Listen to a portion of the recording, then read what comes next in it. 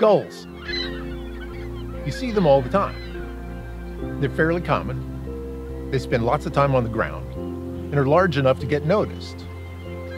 You'll find them near all types of water, both on the coast and inland, and even hanging out at local city parks. But can you tell them apart?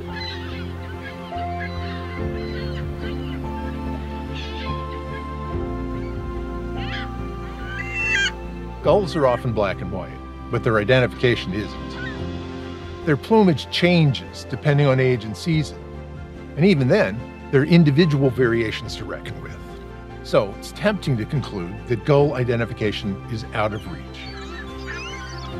Let's face it, gull ID is not easy, even for experienced birders. But don't panic. Gulls are identifiable, and I'm here to help. Look, there.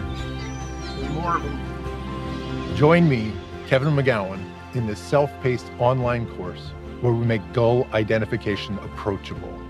We'll train you to feel more confident identifying gulls. We'll look at gull plumages of both standing and flying birds, and take into account season and age for all commonly occurring gulls in North America.